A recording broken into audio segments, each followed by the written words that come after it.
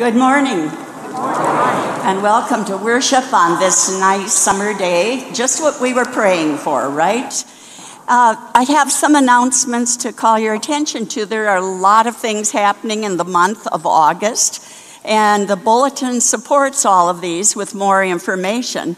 But please keep in mind that August 6th is National Night Out. That's here at Bethel and it begins with a meal and followed with entertainment. Uh, what a great event for you to invite your neighbors and friends to come to with you. And then on August 8th, uh, there is worship on the farm of Bev and Jim Gorder. That begins with a social time and then a potluck at 5:30 and at 6:30 the staff of Good Earth Village will be um, uh, leading the worship. So look forward to that as well. And day camp, you might have noticed that in the bulletin, and they were asking for help with that. In fact, check out all of the count me ins because there are many way- ways that you can serve here at Bethel. And then we have Sherry Engel here to tell us about the Rochester mission trip, and that is August 13th and 14th, I believe. Good morning. One of the great things about Bethel is a variety of mission, pro- mission trips and service projects you can participate in. This summer, I've had the great opportunity to participate in two mission trips.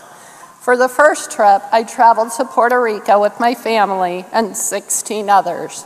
It was an amazing trip full of hard work and wonderful fellowship. The members of that trip truly appreciated all your support.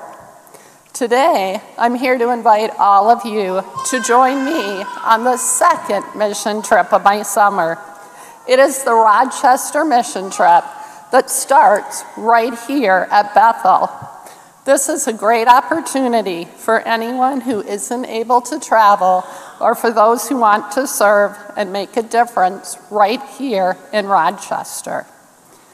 There are eight different service sessions between 9 a.m. and 8 p.m. on August 13th and 14th. You can join others as group travel, groups travel to places such as Channel One Food Pantry, Samaritan Bethany, Restore, or even Color Me Mine. You might stay right here at Bethel, cooking for residents at the Gift of Life Transplant House or making care packages for residents at Ronald McDonald and Dorothy Day. There is an insert in your bulletin showing you all the wonderful opportunities we have. If you're not available on August 13th and 14th, there are other ways to participate.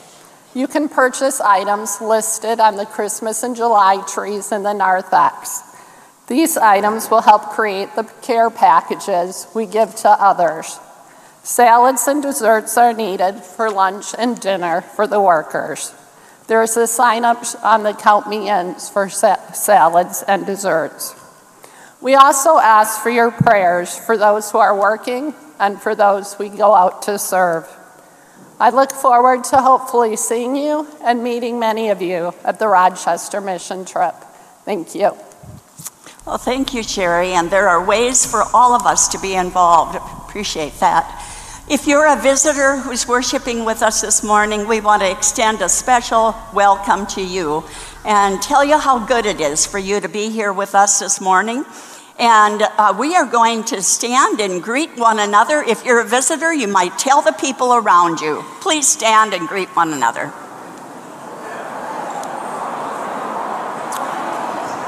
You are way up here. Good morning.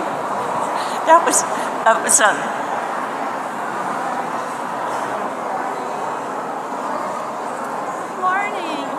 all are. It's what? Mary's with my mom. Mary, so you take your shifts.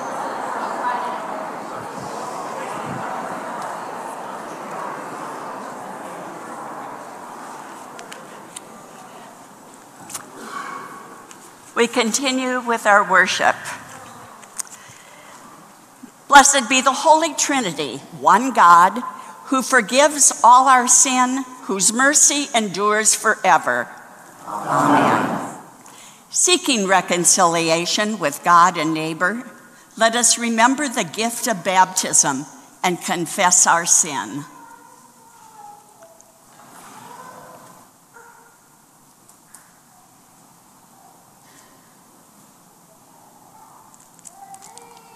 God of mercy, we confess that we have sinned against you, against one another, and against the earth entrusted to our care.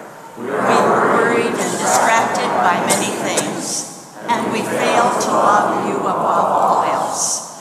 We store up treasures for ourselves and turn away from our neighbors in need.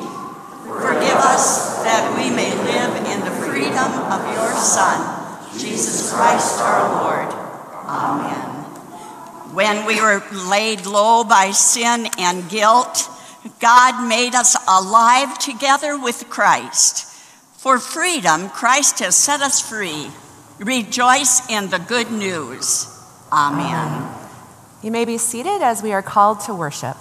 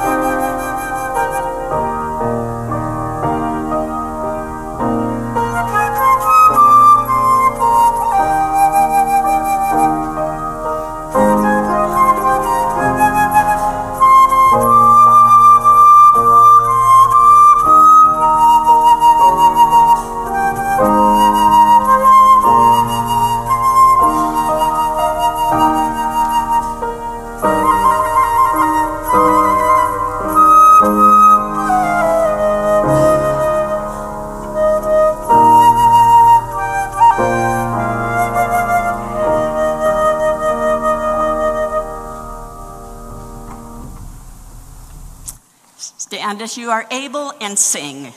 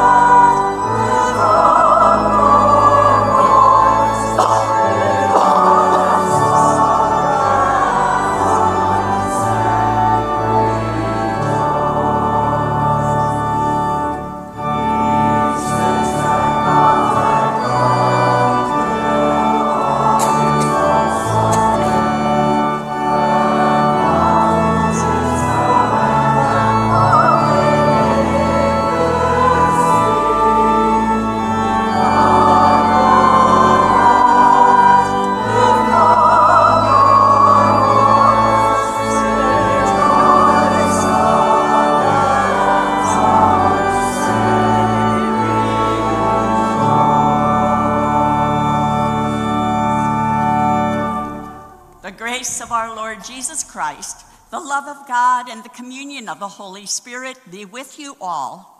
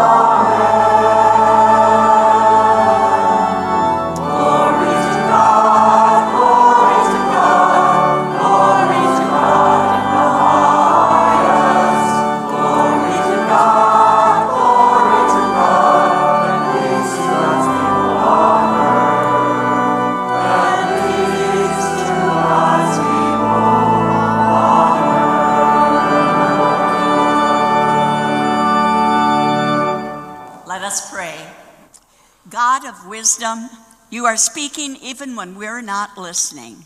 Incline your ears to hear what you are telling us in this day and this world for the life of your people. In Jesus' name, amen. You may be seated.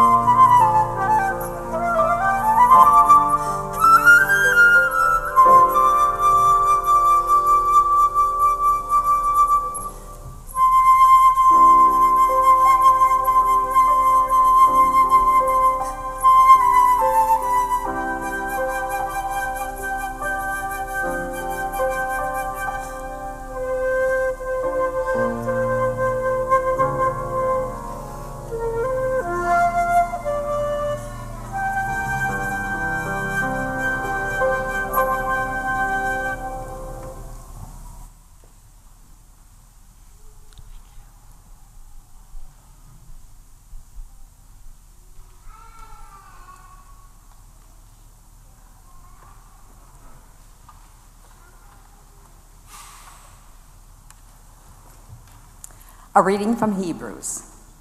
Long ago, God spoke to our ancestors in many and various ways by the prophets. But in these last days, He has spoken to us by a Son, whom He appointed heir of all things, through whom He also created the worlds. He is the reflection of God's glory and the exact imprint of God's very being, and He sustains all things by His powerful word.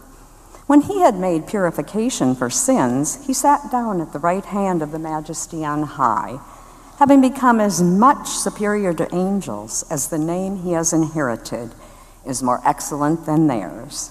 The word of the Lord. Thanks be to God. Children are invited forward for the children's word.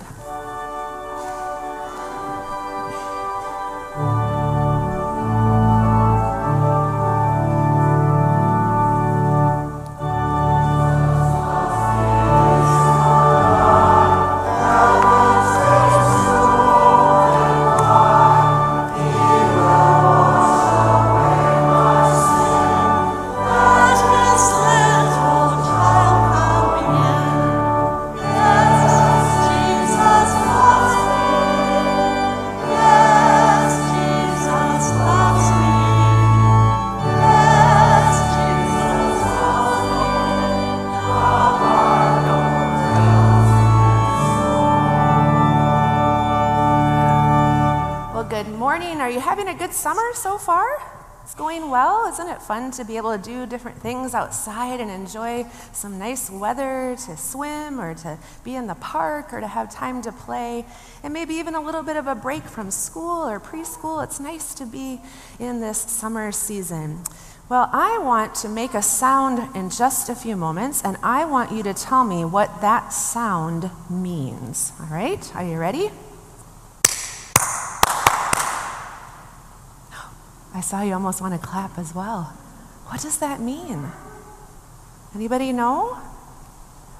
Well, pretend you're talking, talking, talking, talking, and, and then we'll see if, if they know what it means. Talk amongst yourselves for a minute. Just talk gibberish. Blah, blah, blah, blah, blah, blah, blah. Oh, they seem to know what it means. What does that mean? It means be quiet, pay attention, right? You hear that in school, don't you? Or maybe even preschool. Maybe you're out playing in the in the yard or something, and the teacher comes out and clap, clap, clap, clap, clap. And so you don't you don't even have to have words. You know right then. "Oh, I got to pay attention. My teacher needs my attention, or our leader needs our attention. Do you? Great. Well, I think it's yeah, we have all, ma- all sorts of exciting things at our house to play with. I'm, that's wonderful.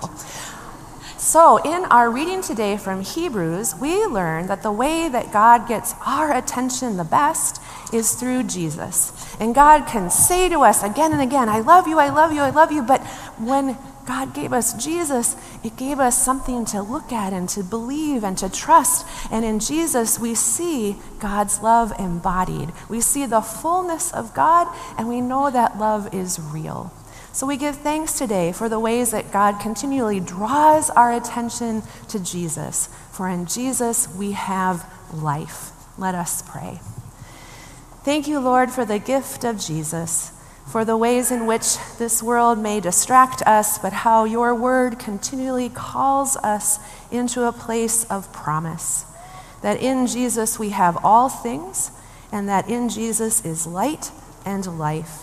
Help us focus on this good news this day and always. In Jesus' name we pray. Amen. Thanks for coming forward today. Please rise for the reading of the gospel.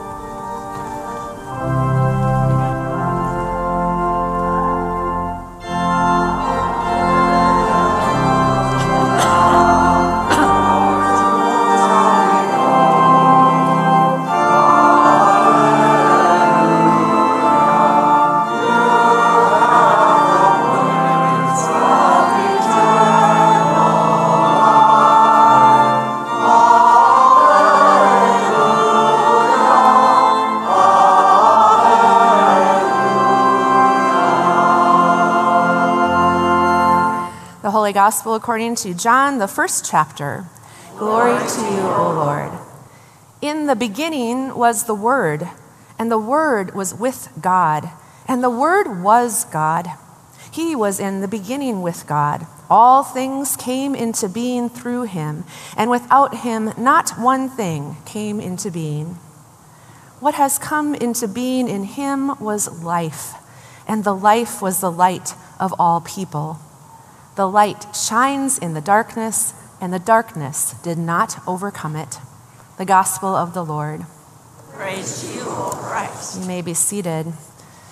Dear friends in Christ, grace to you and peace from God our Father and from our Lord and Savior Jesus Christ. Amen. Well, we find ourselves today in the middle of July, and if you like to think of summer as just three months June, July, and August we're pretty much dead center right now. Some people call these the dog days of summer. Now, it may have something to do, I suppose, with the humid or heavier weather we are experiencing with the heat, especially in this last week. But I bring you news that actually the dog days of summer have nothing to do with heat and actually have nothing to do with dogs either. It's actually a reference to something related to the stars. There is a very bright star named Sirius that is visible from Earth. And in the time between July 3rd and August 11th, Sirius aligns with a constellation called Canis Major.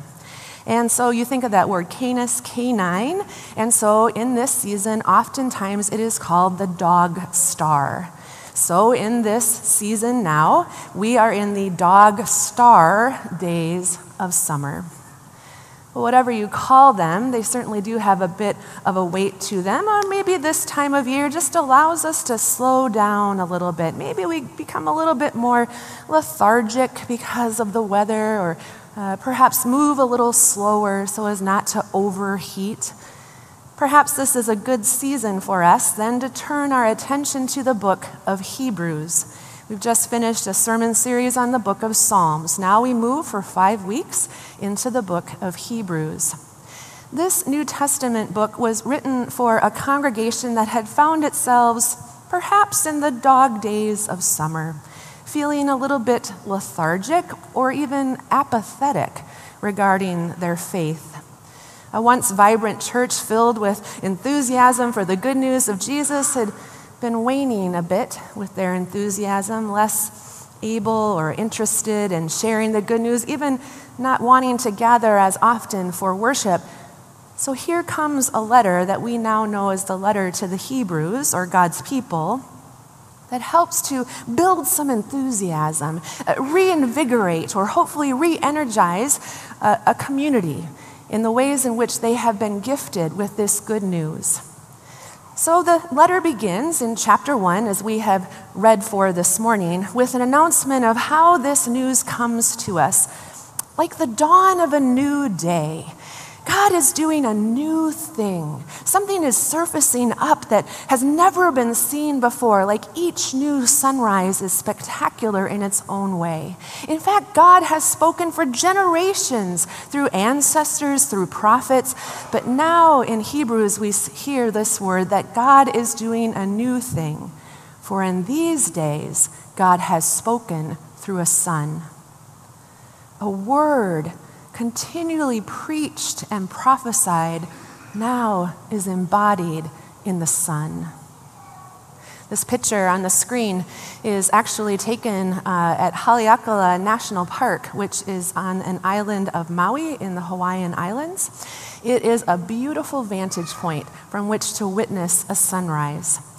If you have ever had opportunity to travel, you know that the way to this vantage point is precarious. And if you get to this vantage point, you want to get there very early, so you drive in the dark on a windy road. But as a spectacular vision of God's glory in creation once you see it. A couple of years ago, my husband and I had opportunity to travel to Maui, and this was certainly suggested as something that we should see. We are not naturally morning people, so we opted to go to the sunset. That was a little more our speed. So we too took that windy road in the daylight, of course, to that vantage point, and we were not disappointed. Isn't that something that a simple sunrise or a sunset, something that happens every day, can still take our breath away. The beauty of God's creation beholding before us. Well, the good news is you don't have to travel all the way to Hawaii for a good sunrise or sunset. You could go to a lake, and you could go to a northern lake and have a view like this one.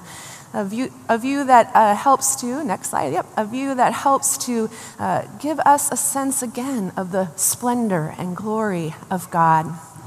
One of the great gifts of a sunset or a sunrise on a lake is that reflection on the water to see those colors dancing in the ripples of the water, to see how the hues take on a different look and how it complements the entirety of the experience. The writer of Hebrews picks up on this visual theme as well. That now, spoken this word through a son, this son is the reflection of everything glorious of the Father. Everything that we see and learn and trust about God the Father is true, truly reflected in the Son himself. Then the writer goes on to say that this Son is the exact imprint of the Father. It's quite likely that the writer was making reference to a coin, perhaps something that people would use daily to pay for different things that they needed.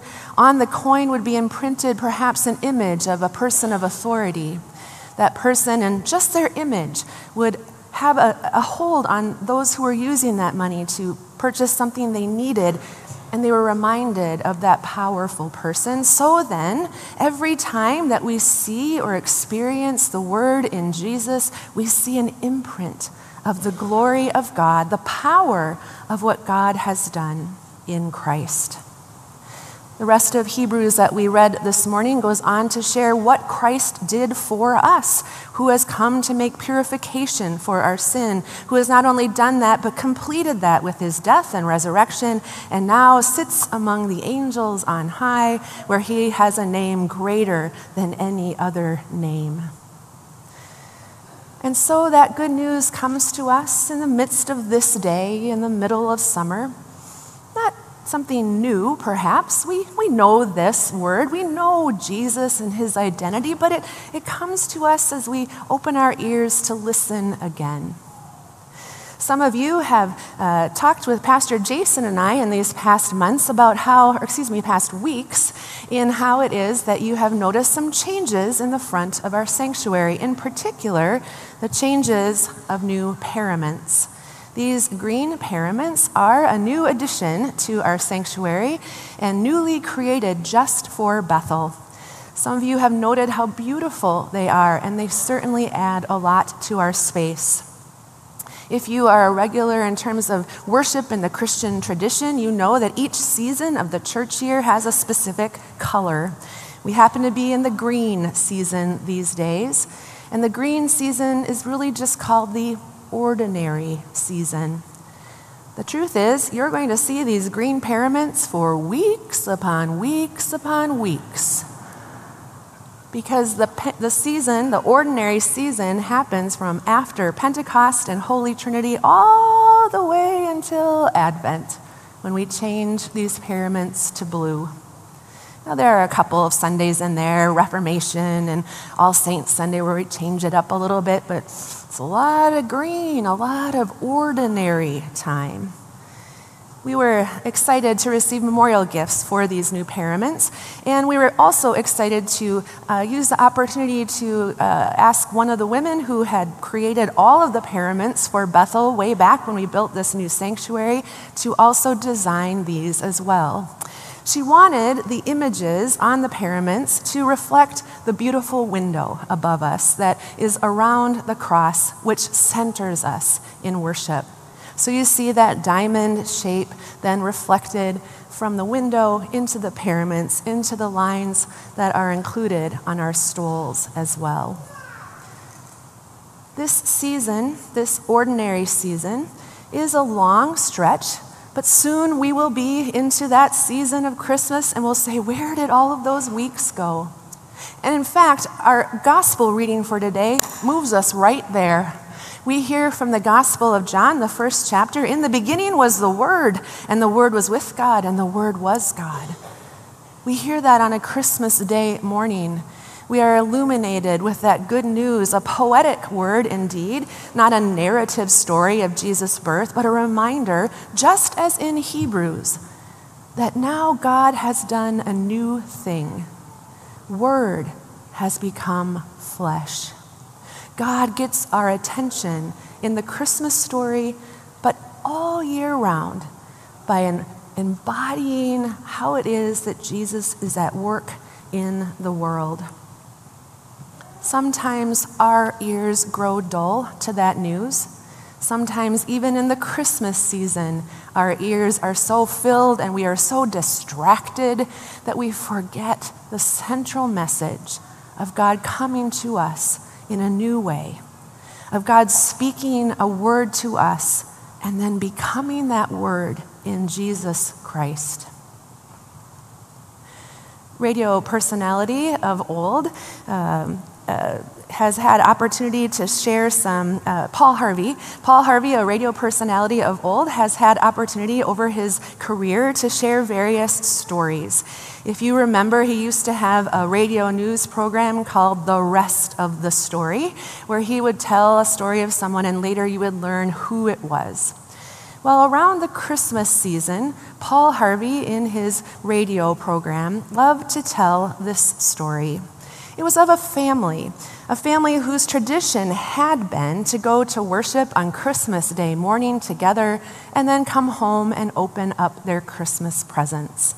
Not a unique tradition, but something had changed over the years for the father in the family. Over time, and because of various things, he had become disheartened, not nearly as engaged in the church life or even in the promises given to him in faith. He grew less and less encouraged by attending worship, and in time, he just didn't go anymore. In fact, his wife and daughters encouraged him, but he, he did not discourage them, but he just didn't feel it, so to speak. And every time he heard that Christmas story, he'd get caught up in a little bit of uh, really, that's so overdone, and really, God coming as a, a baby and questioning and doubting. Well, on this particular Christmas day, his wife and daughters readied themselves for Christmas morning worship, went to church, and he encouraged them and said, I'll look forward to when you come home and we open presents.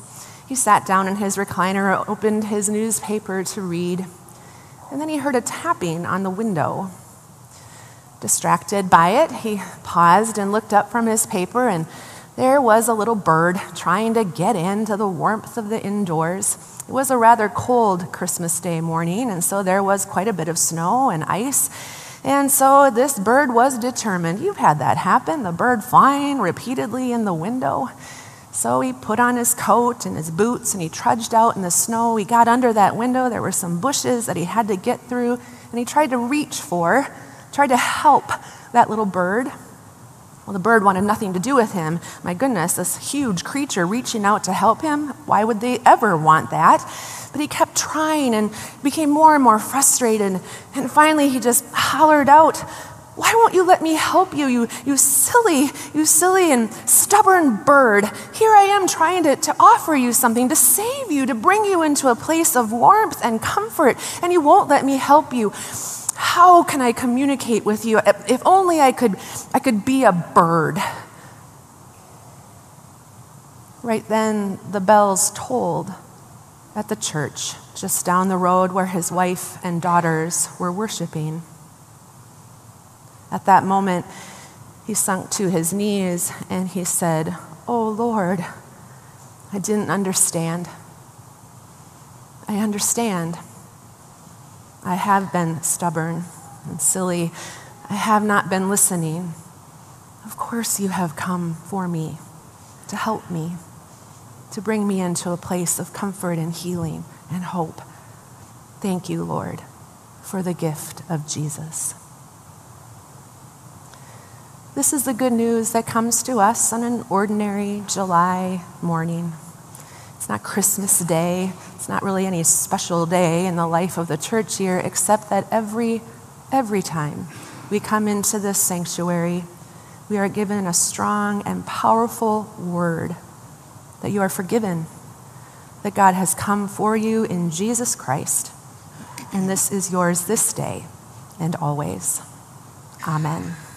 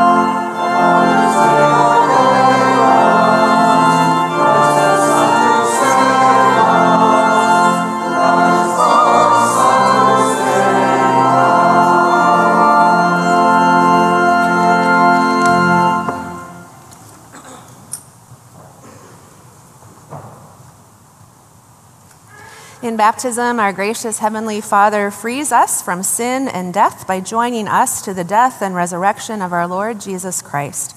We are born children of a fallen humanity, but by water and the Holy Spirit, we are reborn children of God and made members of the church, the body of Christ.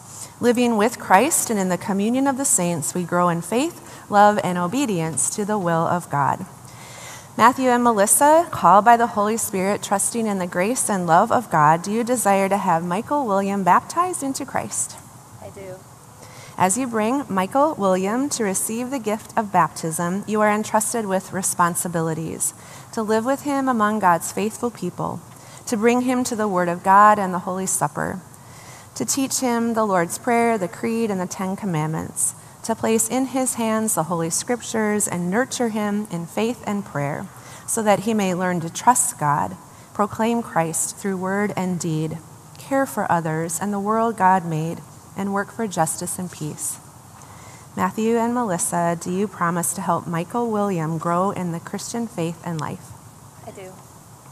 Sponsors Tim and Becca and Laura, do you promise to nurture Michael William in the Christian faith as each of you are empowered by God's Spirit and to help him live in the covenant of baptism and in communion with the church.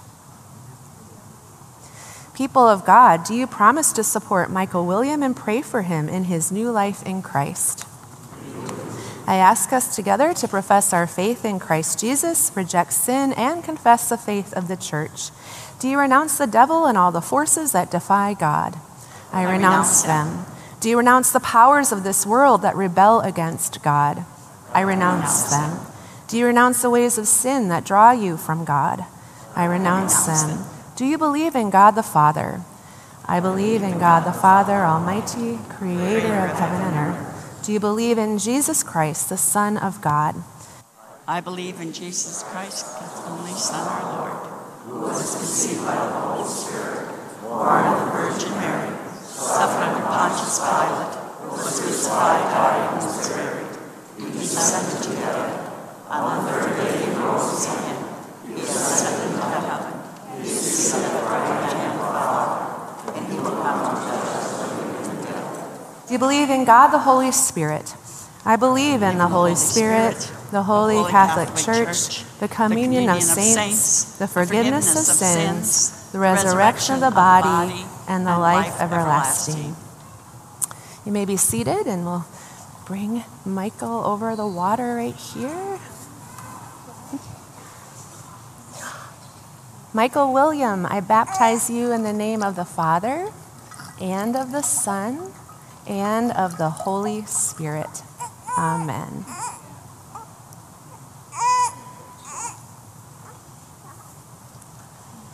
And let us pray. We give you thanks, O God, that through water and the Holy Spirit you give your daughters and sons new birth, cleanse them from sin, and raise them to eternal life. Sustain Michael William with the gift of your Holy Spirit, the spirit of wisdom and understanding, the spirit of counsel and might, the spirit of knowledge and the fear of the Lord, the spirit of joy in your presence, both now and forever. Amen. Michael William, child of God, you've been sealed with the Holy Spirit and marked with the cross of Christ forever. Let your light so shine before others that they may see your good works and glorify your Father who is in heaven. Let us welcome the newly baptized. We welcome you into the body of Christ and into the mission we share. Join us in giving thanks and praise to God and bearing God's creative and redeeming word to all the world.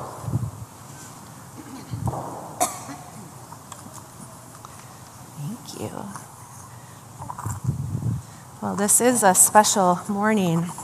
A morning may not be a Christmas morning, but to see this little one and all the hope and wonder that he embodies, we have opportunity to see how it is that God could get our attention through the gift of a son. And so this son has been a gift to his family, a gift now to this congregation, and a gift to the world as God blesses him in these holy waters.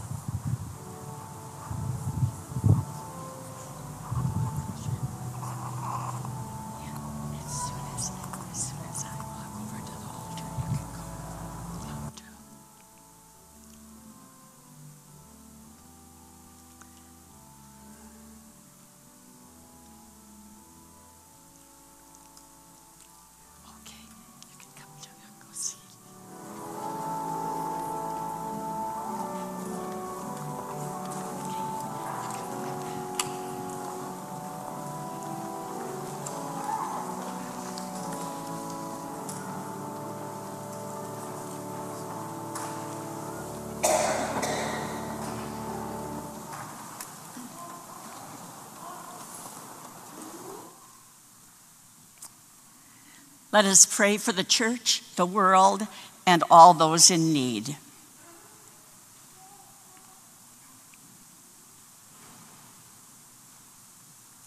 Help us to quiet, to hear you in the midst of busy lives and a noisy world. Turn off our distractions, both outward and inward, and focus our hearts on your still small voice, Lord, in your mercy. We can hear you in the sounds of creation all around us birdsong and wind blowing and breeze. We hear your voice in the wind that stirs treetops and the water that laps up on the lake shore. Speak your words of grace into each of us and into the waters of baptism that bless Michael William with new life and the gift of the Holy Spirit. Lord, in your mercy. We lift up all who work in the world of sound, such as musicians, public speakers, sound engineers, broadcasters, auditory therapists, interpreters, and all who can assist, assist the hearing impaired. May the sounds and the word we produce land as praise to the Creator of all, Lord, in your mercy. In Christ is life for all and in the world is healing for our souls. Send your special blessing upon those whom we lift up today, especially the recent hospitalized, Gary Paulson and Sandy Klein and, and uh, Garrett Ockery. We pray too for those who ask for our, our prayers. And we pray then for Laverne Moe and Emily Porcher. Bless the family of Charlie and Gil Aiken as they welcome a new baby daughter, Haley Grace. Lord, in your mercy. Although your prophets suffered the doubt, ridicule, and mistreatment of those to whom they were sent, still they were not deterred from proclaiming your message. May we be so bold as to speak where we know the gospel is needed in our world today. Send a, a thank you for the saints of light who have shared the good news with us. Comfort Lois Eskelson upon the death of her mother and the family of all of those who grieve with the hope in your promise of the resurrection to eternal life.